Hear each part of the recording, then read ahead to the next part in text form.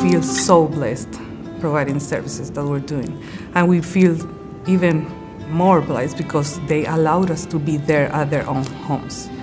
Um, we are not just giving them things, they are giving us the possibility to help them, to make them happy, to make them um, accomplished uh, the things they want to accomplish because they now are realizing that they need support from somebody else to do it. And we are there for them. We want to be there for them, to provide that support, to provide that happiness, to provide that companion care that they need.